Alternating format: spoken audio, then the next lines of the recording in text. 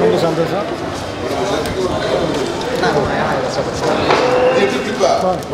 மகாலிங்கபுரம். மகாலிங்கபுரம் படத்தோட ஹீரோவே வந்து ஐயப்பன் சாமி தான். அது வந்து எப்படின்னா அதுவும் சாமியாகவும் கடவுளாகவும் வந்து யூஸ் பண்ணியிருப்பாங்க அதே வந்து ஒரு ஆக்ஷன் ஹீரோவாகவும் சூப்பராக யூஸ் பண்ணியிருப்பாங்க கடவுள் இருக்குது அப்படிங்கிறவங்களுக்கும் இந்த படம் ரொம்ப பிடிக்கும். கடவுள் இல்லைங்கிறவங்களுக்கும் ரொம்ப பிடிக்கும். கடவுள் இருந்தால் நல்லா இருக்குன்னு சொல்கிறவங்களுக்கும் இந்த படம் ரொம்ப பிடிக்கும்.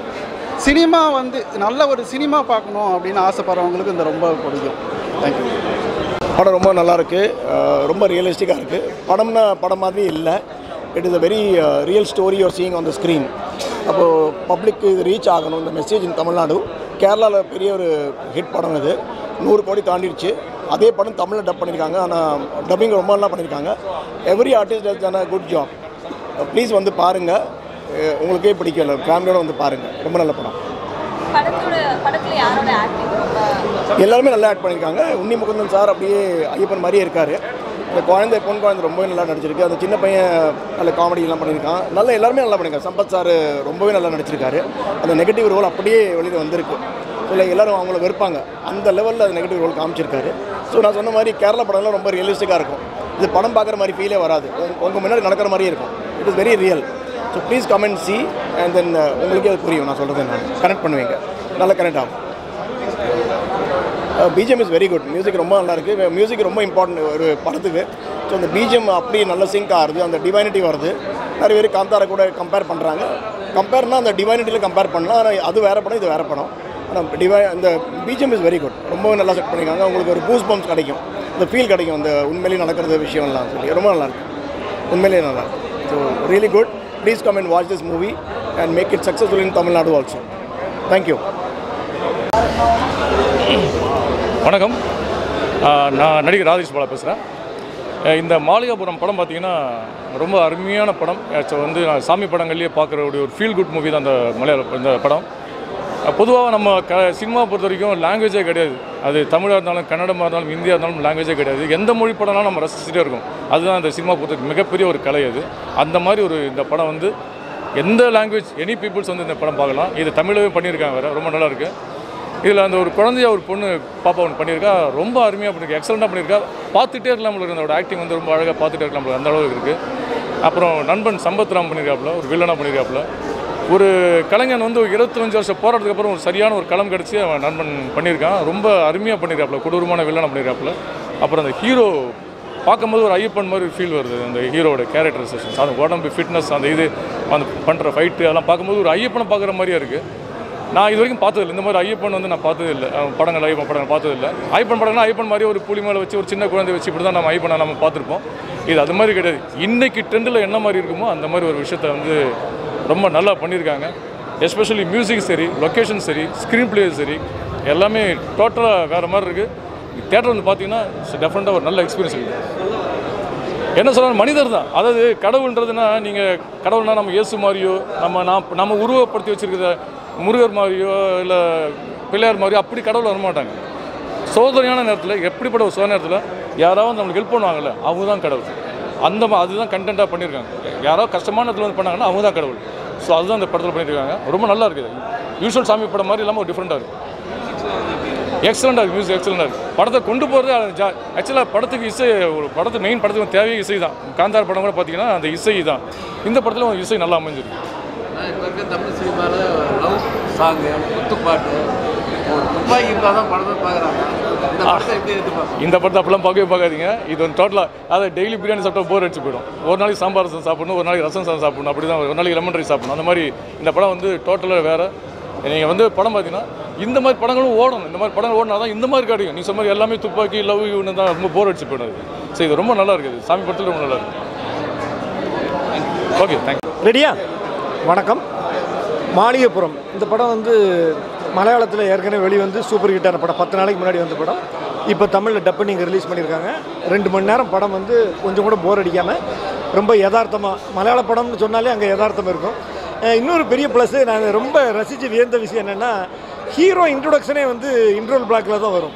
நம்ம ஊர்லலாம் அது சாதாரண பெரிய நடிகர்கள் மட்டும் இல்லை சாதாரண நடிகர்களை கூட இன்டர்வல் பிளாக்கில் இன்ட்ரடியூஸ் பண்ண மாட்டாங்க. இது வந்து அப்போ அந்த அளவுக்கு கதை எந்த அளவுக்கு டெப்த்தாக இருக்குங்கிற பார்த்துங்க அந்த குழந்தையாக நடிச்சிருக்கிற ஒரு குழந்தை செமையாக நடிச்சிருக்கு அப்புறம் அந்த வில்லன் கேரக்டர் பண்ண சம்பத் சார் சம்பத் சாரை பொறுத்தவரைக்கும் என்னென்னா சினிமாவுக்கு வந்து இருபத்தஞ்சி வருஷத்தில் கிட்டத்தட்ட ஒரு இரநூறு படங்களை நடிச்சிருக்காரு. அவர் மெயின் வில்லனாக நடிச்சிருக்காரு. ஏற்கனவே அவர் மல த- தமிழ் மலையாளம் தெலுங்கு கன்னடம்னு நாலு மொழியில் நடித்திருந்தாலும் இந்த படம் வந்து அவருக்கு உண்மையிலே பேர் சொல்கிற படம் மாதிரி இருக்கும். தேட்டரில் வந்து நம்பி படம் பார்க்கலாம். அந்த அளவுக்கு ஒரு சிறப்பான படம். எல்லாரும் வந்து பார்க்கலாம். அதாவது ஆத்திகன் நாத்திகன் ரெண்டு பேருமே விரும்பி பார்க்குற அளவுக்கு உண்டான கதை அம்சம் உள்ள படம். சார் அது ஸ்டோரியில் என்ன சொல்ல வர்றாங்கன்னுலாம் ஒன்றும் கிடையாது. அதாவது என்ன விஷயம்னா ஐயப்பன் அதாவது நீங்கள் சபரிமலை ஸ்ரீ ஐயப்பன் சரணம் ஐயப்பா அருள்தர் ஐயப்பன் இப்படின்னு ஒரு காலத்தில் நீங்கள்லாம் சின்ன குழந்தையாக இருக்கும்போது அந்த மாதிரி படங்கள்லாம் தசரதன் ஒரு இயக்குனர் எடுப்பார். அந்த இயக்குனர் இல்லை இப்போ இறந்துட்டார். சமீப காலமாக தமிழ் சினிமாவில் வந்து ஐயப்பன் படமே வந்ததில்லை. அந்த தசரதன் சார் பிறகு தமிழில் வந்ததே கிடையாது. இது மலையாளத்தில் வந்து டப் பண்ணியிருக்காங்க ஐயப்ப பக்தர்கள் இப்போ ஓம் சக்தி இப்படி ஒவ்வொரு சாமிக்கும் ஒவ்வொரு படங்கள் இருக்கும்ல அந்த மாதிரி ஐயப்ப சாமி ஐயப்ப பக்தர்கள் தாராளமாக நம்பி பார்க்கலாம். இதில் என்னென்னா ட்விஸ்ட்டு வந்து அதான் அந்த படத்தோட ப்ளஸ் வெறும் நீங்கள் வந்து ஒரு கதாபாத்திரத்தை காட்டிட்டு அதுக்கு ஒரு ட்விஸ்ட் வச்சுருப்பாங்க. அது ரொம்ப நல்லாயிருக்கும் மியூசிக்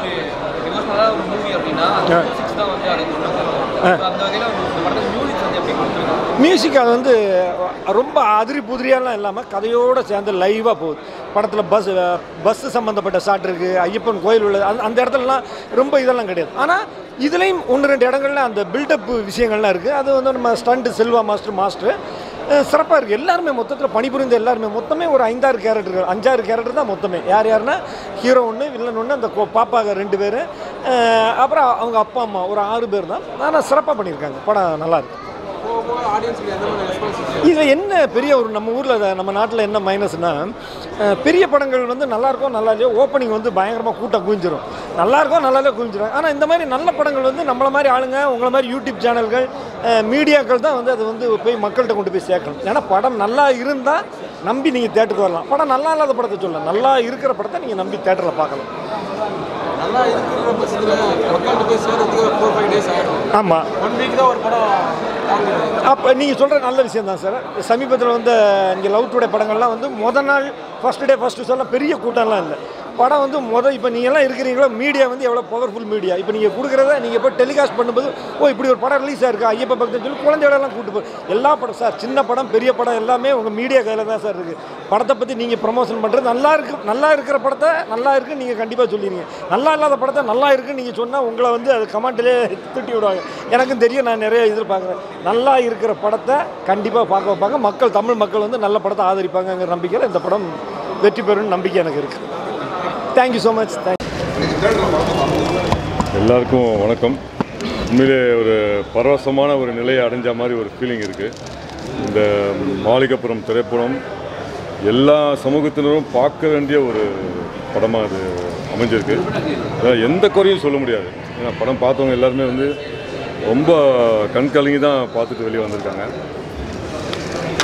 கடவுள் நம்பிக்கை இருக்கிறவங்க மட்டும் இல்லை கடவுள் நம்பிக்கை இல்லாதவங்களும் வந்து பார்க்க வேண்டிய ஒரு படமாக இருக்குது ஏன்னா பக்தினா வந்து கடவுள்லாம் வந்து வெறுமனே டைரெக்டாக வந்து உதவி பண்ண மாட்டார் கடவுள். மனிதர்கள் மூலிமா தான் உதவி பண்ணுவாருங்கிறத ரொம்ப தெளிவாக அழகாக ஒரு போகிற போக்கில் அழகாக சொல்லியிருக்காங்க.